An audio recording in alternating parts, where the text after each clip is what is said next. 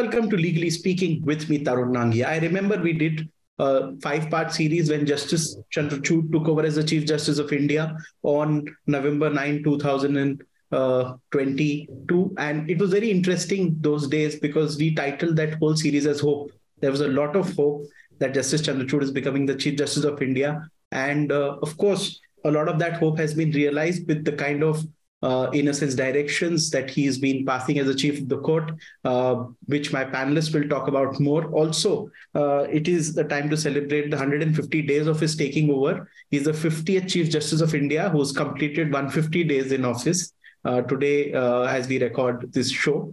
Uh, and it is indeed an occasion where we will go back and reflect on what all has been achieved, what remains to be achieved, uh, and also go back on a few administrative decisions, uh, digitization of courts, etc. And of course, we all know how much he has pushed for digitization and uh, even to judges, even for lawyers appearing before him. Indeed, we got to discuss all of this today and a lot more. I have a very eminent panel with me. May I welcome Justice Arjun Kumar Sikri. Uh, Justice Sikri uh, has served as a judge of the Supreme Court of India. Uh, he is a sitting judge at the Singapore International Commercial Court, but most of all, all of you know him as one of India's busiest arbitrators. Difficult to very difficult to get his time, but uh, he's been kind. Thank you so much, sir. And uh, good to see you. Uh, I have with me Ryan Karanjawala. he is managing partner of Karanjawala and Kami, one of India's leading litigation law firms at the Supreme Court of India. Thank you so much for your time and thank you so much for joining us. You, I have with me senior advocate Parag Tripathi. Now, anybody who's who's doing any level of business in India at a significant scale knows Mr. Parag Tripathi because he's known one of India's top counsels at the Supreme Court of India and also other forums, a very fine commercial mind who, of course, you would be reading about every other day on one big commercial case or the other. Uh, so nice of you to give us time and join us for this show. Thank you so very much. Uh, at the outset, may I request uh, Mr. Ryan Karanjawala that in the first two minutes or so, uh, if you could lay the ground for this discussion, then we move on. Uh, over to you, Mr. Karanjawala. So the question you're asking, Tarun, is what are our impressions about how his first 150 uh, days have been? And what are the things that he has been able to achieve? So I think there are four things that stand out. The first is very fortuitous, but though it was unsaid at the time in which he took over, there was a certain sense at the bar that he might take over and head a court that was not completely united. But somehow, due to a lot of circumstances, and uh, the, we now find that he has been able to unite all the judges behind him. They have stood full arm bank, fully behind him on the aspect of judges being appointed to the Supreme Court and to the High Court. He's been able to achieve a situation where eight judges were appointed to the Supreme Court. Today, the Supreme Court sits in its full strength. He, they've been able to recommend 35 names for the High Court, seven of which are women. And this is something where, by which, as you will see, all the judges seem to be broadly speaking in one voice and in one direction. So that's, I think, his first and most important achievement un- unification of the court. The second thing that they've been able to do is and this is a feeling that I really look more towards uh, Parag and uh, Justice Sikri, see, uh, seeing as to whether they agree with me or not. But somehow I get the impression that in this 150 odd days, the court has started tilting more towards the citizen and a little more away from the government.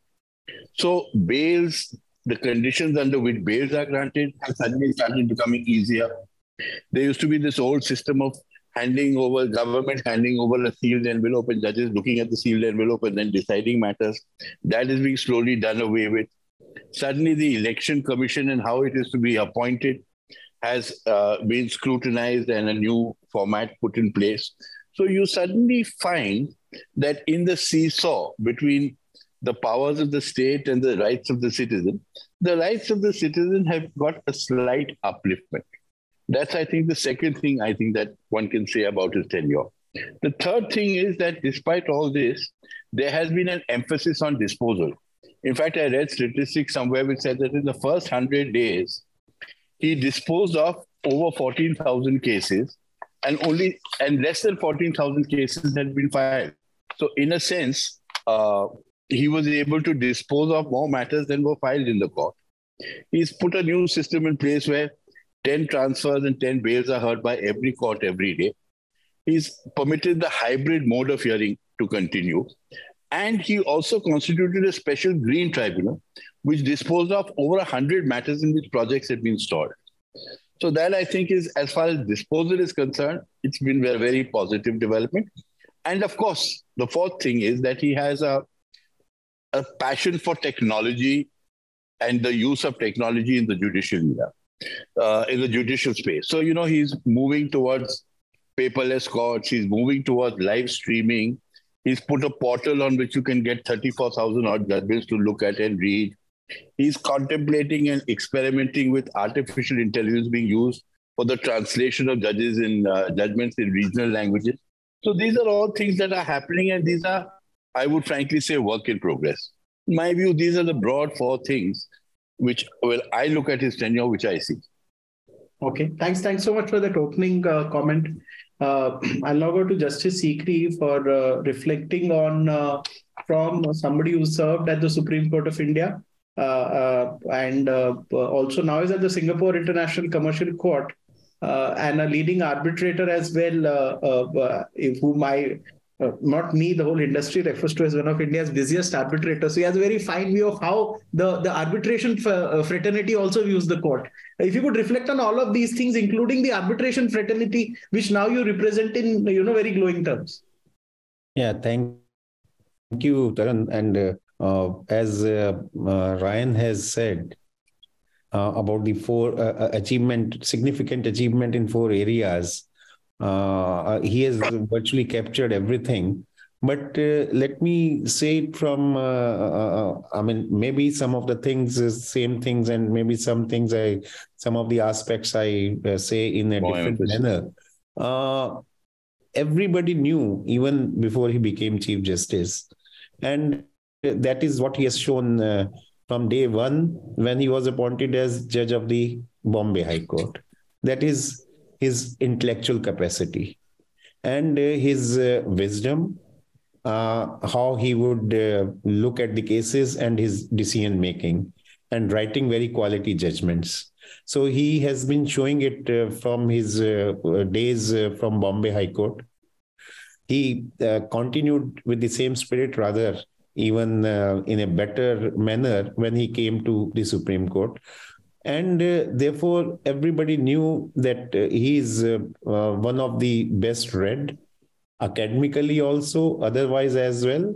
And uh, he can uh, have the grip of the matter very early. And while writing the judgments he is not that he will be only deciding the case. In the process he would be laying down the law or rather expanding the horizons of law and the principles of law and which is very necessary for any judicial system in the country. And this thing continues and we expected that it will continue. This thing continues even when he becomes uh, chief justice of india. So insofar as his decision making on judicial side is concerned uh, I mean, nobody uh, can say anything about it, and rather, uh, I mean, uh, can say anything against it. And uh, every, as I said earlier, also 10 out of 10 as far as that aspect is concerned and this field is concerned. And, but uh, what he has, I mean, after becoming Chief Justice of India, he has decided, and to some extent, I would say that it was started by Justice Lalit as well, that the uh, important constitutional matters, and there were many, many matters raising very, very important constitutional aspects which were pending. And some of these have uh, political flavors as well. And uh, uh so, uh, of course, Justice Lalit had constituted those benches. So he is going ahead with that uh, mission in mind that yes, all these should be taken care of because because if you remember when these issues were pending, there was not only in judicial fraternity or uh, the other legal fraternity, but uh, public at large were also thinking that why these cases are pending, why the Supreme Court is not deciding. So now the, the, the he has set up those benches not only of himself but uh, other constitutional benches also, which are now trying to decide uh, these cases, which is a really good trend which he continues. And uh, uh, as uh, uh, here in this process, I would say, as what uh, Ryan mentioned about that the uh, court tilting in favor of uh, more in favor of the citizen and wherever government is to be, I mean, the powers of the governments, etc., are to be curtailed. I mean, of course, within the framework of the constitution, and that process is. I mean, this I would say instills faith in the people the institution survives or institution institution prospers uh, as particularly i'm talking of judicial institution only on the trust of people.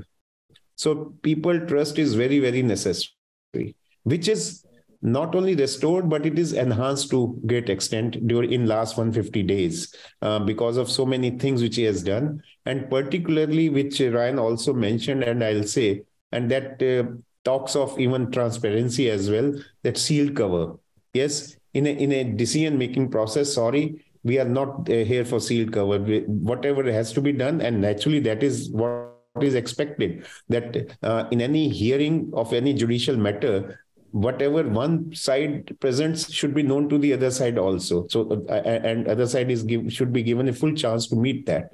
And therefore where's the question of any sealed cover? And he has come out very clearly regarding that. And that recent judgment of on, this uh, uh, uh, freedom of press as well which he has um, removed the ban on that newspaper there. And so this, this is again remarkable judgment. Not that these kinds of judgments were not there earlier but in today's scenario and in today's environment giving of these judgments becomes very very important insofar as restoration of the faith of people is concerned. So that is his uh, judicial side. And here i would add and i would again um, uh, i mean uh, say what uh, uh, uh, ryan has said. He has put it like unity of the judges its court is restored. I would say same thing but as a team leader he has believed in teamwork and he's taking everybody along. As i know not that because after my retirement i would not like to uh, unnecessarily interfere or see what is happening. It is uh, their forte and they have to but we come to know at least what is happening. Sometime inside uh, uh i mean information also uh, comes to our knowledge. But uh, i have seen whenever he has to take decision on certain important matters on the administrative side and or other on, about the functioning of the uh, Supreme Court and even uh, uh, because as a head of the institution, um, Chief Justice is not uh, head of only the Supreme Court. He's called Chief Justice of India, not Chief Justice of the Supreme Court, because he's the head of entire uh, judiciary of India. So therefore, whenever the decision is take, to be taken about not only Indian Supreme Court, functioning, etc., important policy matters. But uh, uh, uh, if it is in respect of some high courts or district judiciary, etc., he consults his colleagues. He takes their inputs. And uh, this uh, uh, obviously would result in better decision making. And that is what he's doing and that is then uh, uh, catering to the judicial reforms also. So many judicial reforms at various level in addition to the appointments which have been made during this period which ryan brown pointed out. So therefore that is uh, one aspect the teamwork. And then as a uh, I said that when it comes to judicial reforms and at so many level, and I'll just simply give the initiatives which he has taken. Everybody knew and everybody knows. Even when, when he was not Chief Justice, he was the uh, in charge of the E committee in the Supreme Court. And uh, even at that time, he was trying to bring um, uh, uh, various reforms and uh, uh, improvement in the technology, etc., which chance was given because of COVID. We know how much um, I, I, mean, this technical tech, technology or the, the upgradation of technology which has taken place uh, in the Supreme Court as well as in the high courts and subordinate courts, which uh, continues even now. If you remember talking and even persuading the advocates also, paperless court, let, let this case be argued when neither we will, that is the members of the bench, nor the uh, uh, advocates who are arguing will have a single paper. So uh, um, apart from that, uh, the specific, if I tell you only uh, what is happening is, which I noted some of this, ESCR, this uh, which he has introduced, and uh, uh, which is this is called uh, Supreme Court uh, reports that uh, in e form. And it is not only that all the judgments, which are more than 34,000 judgments, are uploaded in English language, but more importantly, that now the translation of these in, in, in, regional languages also, which is happening. And already uh, 3,132, which we read a uh, uh, few days ago, judgments which are translated in different languages and now are available. Then uh, interestingly, for the functioning of uh, this, uh, you know, when the uh, lawyers appear in the court, and in the in a particular case, the lawyers would, uh, who are going to appear, they would go to the court master and give their appearance slip, and and court master has to keep those appearance slips, and when he's drafting the order, he has to record all those names. This is now again uh, is online appearance slip. So, so you can give online, you don't have to give these slips there, etc. So very minute things he's thinking, uh, uh, where the there can be uh, in e-form and without paper, we can do it. Then digitization of records, which is taking place.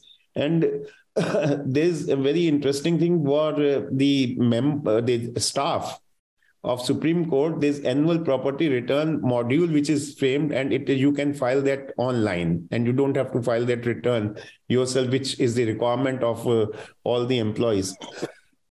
and uh, insofar, th- then he has set up a committee for the welfare of the employees, etc. And uh, uh, another committee, which is very important, I remember it may be. Uh, I've read about that uh, committee I had given this uh, under the new uh, Disability Act, which was was uh, enacted in 2014 17 uh, there are provisions that all public spaces all public places buildings etc hospitals and all other all public places will be disabled friendly.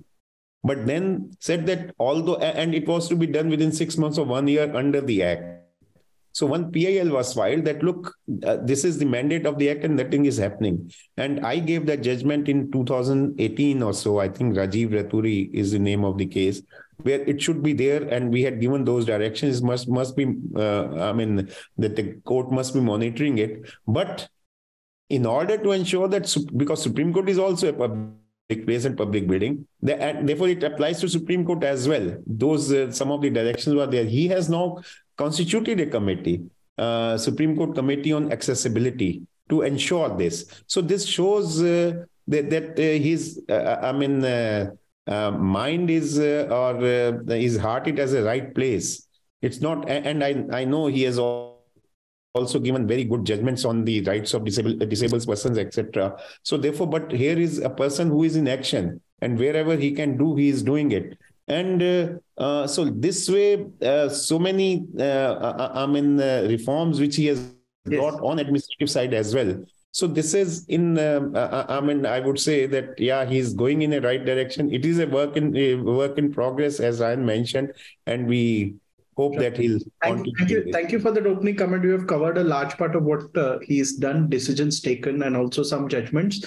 I'll go to senior advocate Parag Tripathi. Now, do I speak to his college classmate? Am I speaking to somebody who also went to Harvard, much like him?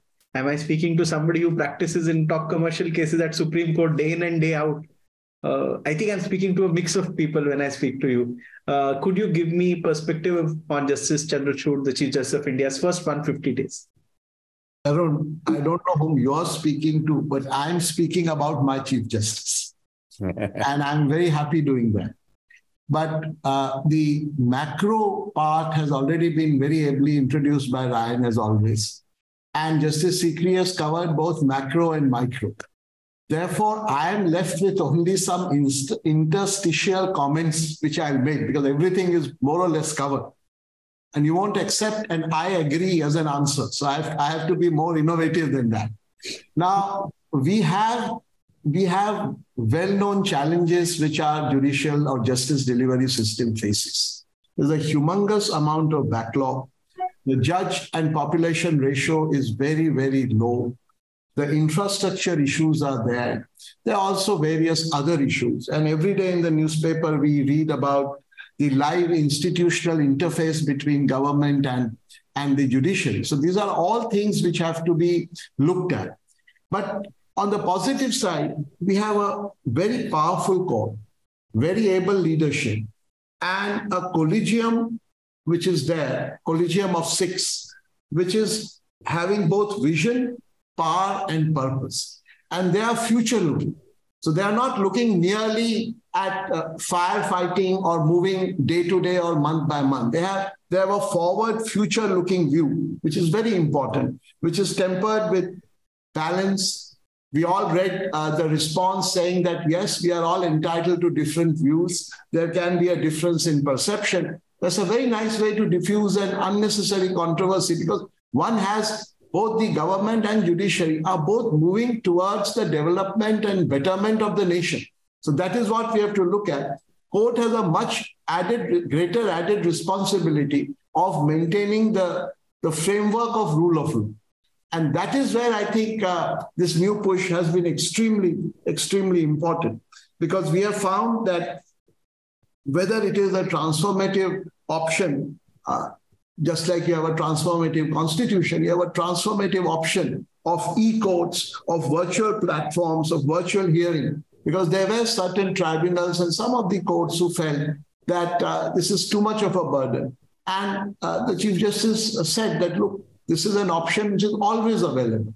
And it has, of course, to be improved. And uh, these are these are various areas making, as Justice Sikri said, making the uh, judgments available on the website, translating them, and as Ryan said, so many other things which have been done. So therefore, I think I think the whole focus has been of, if I may say so, institutional chetna, institutional awakening of Supreme Court as an institution. What is its role? Which is the way to future? Along with humongous amount of uh, uh, activity of an intellectual powerhouse and hard work. So it's a it's a lot on the plate.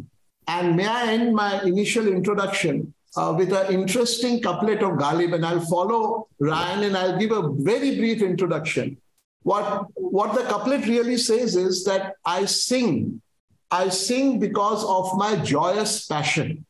But remember, I'm a nightingale of a Gulshan. Gulshan is that mythical garden of Urdu poetry. I am a nightingale of a, of a Gulshan which is not yet fully born.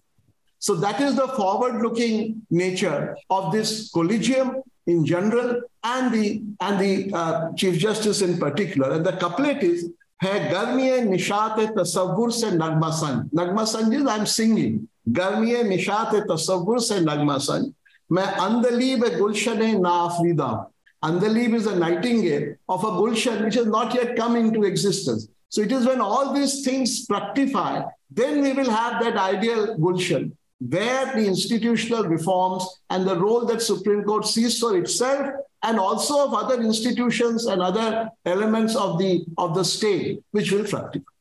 Thanks, thanks so much for that opening comment, uh, which which captured, in a sense, your observations of Justice Chandrachud's 150 days. Of course, uh, now we'll shortly begin part two, in which we will discuss uh, uh, the suggestions that uh, all of you have to make. Uh, I'll also read out few statements which he's made over the past few days. Yesterday, he said, "Need deliberation, dialogue, and not grandstanding." So uh, that, that that is very interesting. You know, when he says need deliberation, dialogue, not grandstanding, which means a healthy dialogue is essential between the executive and the judiciary. he also said disagreement should not lead to hate and violence another interesting statement uh, law should take into consideration realities of communities where it is implemented uh, you know these are a few words or pearls of wisdom that uh, uh, uh, one of his statement which i really like is the faith of citizens lies in the faiths in the fierce sense of judicial system faith of citizens lies in the fierce sense of judicial system. Such far-reaching words from our Chief Justice of India. I'll go to Mr. Ryan Karanjawala for his opening comment. Any suggestions that you would like to make? Uh, he still has a very long tenure. I mean, we are talking of at least uh, now, now, it's October 24 that uh, he's still in office. So we are we just April. November, November 20. November 24. Yeah. Thank you for correcting me. So uh, it's it's a long, long time. So there's one thought that I've had, which I've been sort of mulling over for some time. which is, of course, we have, as you know, a collegium system, and the collegium exists for certain express purposes. And it's a formalized collegium of judges who come and join in a particular manner at a particular time. And they are there for the purpose of appointment, they're there for the purpose of transfer and other things like that. I was just wondering whether the court would benefit if the Chief Justice also initiated a second collegium, not necessarily a formal one, but an informal collegium of only people who will become Chief Justices. Because you remember that when it is from Chief Justice to Chief Justice that the baton of law and justice is handed over. Now, if every Chief Justice presides over an informal collegium, which means that they meet on a regular basis to share views. So, what happens is the people who are going to man the court at the head of the court for the next 15, 20 years what, whichever period of time it becomes, all sit together, say every 10 days they meet informally over tea, over coffee, over lunch, over dinner, and share views. What then happens is in an informal sort of process, their thoughts coalesce together to decide what will be the path that the court will follow for the next several years. As a result of that, if, if they're able to broadly agree, imbibe from each other, then the transition from one chief to another becomes very smooth and very easy. It's like a well run relay. The baton is handed over, and the person has already got a background of how the court is. He's already agreed with a lot of the ways that the court has already been functioning in. So all he does is take it further in a more ex- ex- uh, extenuated way. If in an informal system they start this process of, and the collegium consists of only people who are going to be chief justice of India. It's a sort of a you know a, a group within a group. The advantage of that I feel is that early on you will be able to set a direction for the court and then every Chief Justice knows that his legacy, in a sense, will also continue. Because the things that he is doing today is an amalgam or a large amalgam of the thought processes that that particular collegium throws up. That might well benefit the court in the years to come. That was just my thought on the subject. Okay, thank you. Thank you so much for giving that, uh, in a sense, uh, suggestion and an idea. I will take this to Justice Arjun Kumar Sikri for his uh, uh, uh opinion uh, on the suggestions that he would like to give to Justice Chandrachud. First, let me make a very brief comment on what Ryan has said. Uh, Ryan, if you remember, I think we were the panelist only, and when we were discussing about the tenure of uh, Justice Lalit and the reforms he was bringing, this is exactly I had said that many times yes. what happens, chief justices come, they have many good things in their mind. They uh, they will initiate all those uh, steps, but when new chief justice comes, he thinks that whatever is done is done. Now I have to start off my own and I have my own philosophy. That's and in order to take care of that, and the judicial reforms take place uh, on a sustainable basis, as you rightly pointed out, why not there should be a committee of uh, consisting of all future the chief justice plus all future chief justices so that uh, the baton is passed on and the judicial right. So you have said and in a very nice manner that okay it's a uh, another collegium mini collegium or alternate collegium which is uh, uh, uh i mean naturally it is not for the purpose of uh, making a point for that that would be the, the, first collegium. But yes for judicial reforms it would be really a good idea. And uh, so therefore i entirely agree with that. But to tell you one thing and uh, it would be pleasing to all of you i think he has created one. Oh yeah wow. it's it's not it's a group as you as at least it's you can't call it collegium he can't give any yeah uh, it's just a kind of it's an informal gathering of yeah but friends. but uh, but uh, one, uh, uh, I mean, on certain policy matters where he has to, he discusses with the, the all those who are going to be chief justices, and that uh, whether it is that such a group is constituted as a formal group or it is an informal group i may not be knowing but i know this much that such a group is there now he has done already so that is uh, that, that credit goes to him and uh, as far as and if it's an informal group, it can benefit from once in a while calling judges like Arjun Sikri for their experience and wisdom. no, but Arjun Sikri in any case is not. Uh, uh, uh, uh I mean, uh, I, would say uh, doesn't fit the bill, or it would not be entitled because I'm not past even past chief justice. If you want, if wants to call somebody who was chief justice, but you have the experience I don't qualify many. under that category. But you also. have the experience. Anyway. You have the experience of many. But we are good friends, and I mean, of course, he's very busy, so we are hardly able to meet. But uh, I know he's open to ideas, he's open to discussion. And let me tell you one thing here. Uh, another thing, it is uh, when, when uh, you know, uh, uh, this is what he started. in his 150 days achievement, we should, I think, include that as well.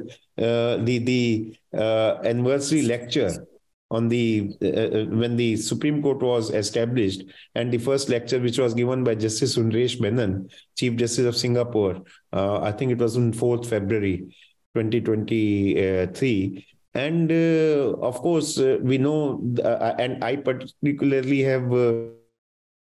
Uh, experience also of his working justice justice Sundaresh Menon and the way he has brought reforms insofar as Singapore Supreme Court is concerned. But what I'm telling you is last month, I think it was in March, early March or somewhere, one another judge from Singapore Supreme Court had come. He's a very, very good friend of mine. Uh, I think uh, uh, Parag would be knowing him, uh, Justice Ramesh Kannan. And uh, I, I not, uh, I think it would be, I know that he knows him. so when he was here, he met Chief Justice. And thereafter, he had spent one evening with me, and he was telling me that look, I, first let me tell you, he's very much impressed by his own Chief Justice. And no doubt, Justice Sundaresh Menon is one of the finest Chief Justices. And his comments were, when I met him, and in 30, 40 minutes, our interaction, he's no less than our Chief Justice. So this is how Justice Chandrachud, uh, uh I mean, uh, uh uh, uh, uh, from his talk, from his deliberation, and the way they were discussing. So he could uh, really uh, impress him not about uh, from his, I mean, his judicial qualities also, but administrative qualities as well. So therefore, this is one thing. And coming to specific, I mean, apart from these others, which we know, that challenge is there and always there about the appointments vacancies which are there always and uh, the uh, backlog which is which has tremendously increased during uh, covid. And uh, uh, uh, how to the, the, certain other problems insofar as district court and high court judiciaries etc are concerned.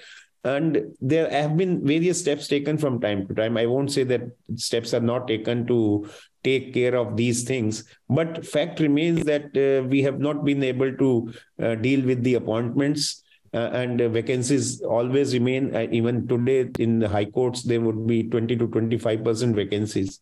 So challenge is that uh, for whatever reasons that uh, erase those uh, causes which are uh, because of which these vacancies are uh, remain and fill up those vacancies in the process of course uh, the the uh, uh, another thing which comes and which has been under discussion or rather controversy about uh, executive versus judiciary on appointments etc and as you rightly pointed out his speech a few days ago i feel let me tell you very frankly although in, uh, uh, notwithstanding what is appearing in the medias and the it may be because of certain statements made by one person or the other uh, unnecessary statement which may give that kind of impression.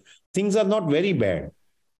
And therefore it is easy for uh, the uh, supreme court also uh, to have a better understanding with the executive on these. And so this would be a challenge for him to achieve such a uh, position at least when uh, the, the impression of uh, from the uh, public also is erased that no i mean we can work together and of course that doesn't mean uh, uh, uh, it should not amount to compromising the judicial integrity or judicial independence when it comes to judicial work that is altogether different. Here we are talking only on administrative side when they have to work together. So th- these are some of the challenges and particularly of areas as well from 30 million cases uh, uh, because of COVID, 30 to 45 million cases. I mean, it's a big, big challenge. How these are taken care of and what progress is made because it, it can't be done in his tenure in two years' time or so. Even if it happens in 10 years, it would be a great achievement. But whether he'll be able to take some kind of, uh, uh, I mean, big decisions and uh, some steps which may bear or which may bring these results, positive results in next few years. So that is what is to be seen, and he has to do that. Thanks, thanks so much for that comment. In fact, I just also read a headline which he very speaks about lawyers are free to appear online in view of uh, COVID rising. A supporting statement uh, for uh, the legal community. It is openly telling lawyers that you can appear online because suddenly we're seeing a spike in COVID cases. I think uh, senior Parag Tripathi, who does a lot of also online appearances, would like to uh, uh, uh, Uh, uh, uh, what you can say, give his word on this and also his suggestions to Justice Chandra. No, I think online is extremely welcome, and I think it's it's it's a new skill. It's a new skill set. Therefore, it takes time for lawyers. And I think we have to work out a system which is a little fairer to our judges, whether in the High Court or the Supreme Court or the tribunal, because they are compelled to physically be in court all the time. So that, that has to be worked out. Monday, Friday, uh, they should also work from home because that helps the registry. It, it, it helps so many things. But yes, online is here to stay. It's very necessary and it's a great step forward. I think the sense which I get from the from the uh, uh, uh extremely well presented uh, propositions both by Raian and Justice Sikri, as always, is that there is this collegium, there is this uh, wider body and that body is proceeding to have a uniform approach because that's the crucial thing. As Raian said and Justice Sikri said, the baton has to be passed on in a very harmonious manner without anybody knowing that it's actually now passed on. That is, uh, if, if you uh, read about the giant Tirthankaras, all of them, when they are depicted as a deity, have the same face. That is because if you have evolved, you look the same. That's the theory. So that is how the baton should be passed. That you have to say, oh, the Chief Justice has changed it. I didn't find out from the utterances that that has happened. But for that, this is the most important thing. It's a powerful court. There has to be that continued unity of the powerful court. Because if there is a lack of perceived lack of unity of the court, then this interface, the live interface with the government, with other uh, institutions of the state becomes difficult.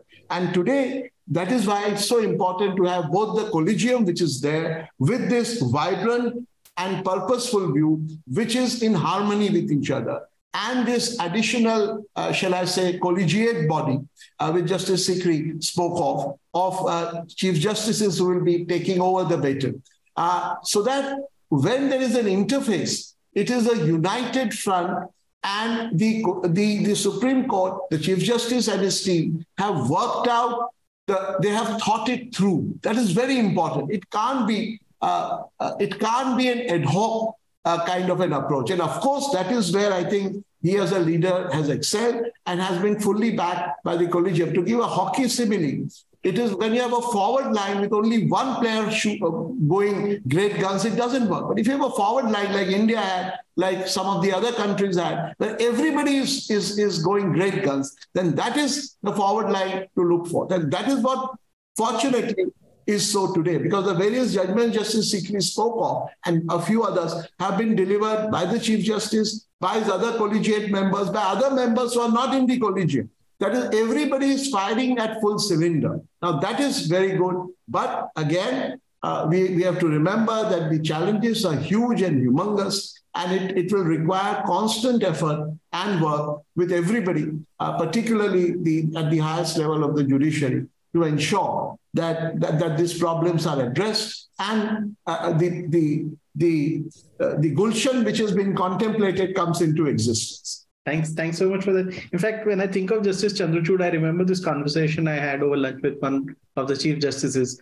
He said the chief minister come to me and he asked me that we need your support. He said, of course, you have all my support as long as you work within the four corners of the Constitution of India. So whenever I think of him, I remember this line. I mean, it was an anecdote a retired chief justice shared, but uh, today I think were a great two shows. Uh, what I liked about it most is the two shows are over. I almost didn't realize. Uh, so many good points were made. Time just flew. I think it always happens when we discuss Justice Chandrachud that time just flies. We'll get another opportunity to do a show on him when he completes 250 days, which is not too far away. We're talking of just three months more. I think a lot more decisions, a lot more utterances. Uh, he's a vocal judge. He speaks his mind also uh, through his judgments and also when he speaks uh, we will get an opportunity to talk about him and what decisions he's taken. Of course, the disposals also we'll discuss that time. At least 250 days should pass before disposals are discussed. Can't be discussed within three and four months. Uh, but I would like to thank uh, Justice uh, Sikri. And of course, I forgot to make a point. He, Justice Sikri, has been hearing a lot of arbitrations online, which is a lot of people uh, talk uh, in the industry that uh, he also in the arbitration space has taken it big digitally as Justice Chandrachud is doing it within the courts that also is something which should be appreciated. I would like to thank uh, Justice Sikri for joining in. I'd like to thank Raian Karanjawala, managing partner of Karanjawala and Company, for making time. Senior advocate Parag Tripathi has been kind to give time. Appreciate your joining us. And viewers, I hope you enjoyed this one. Thank you so much.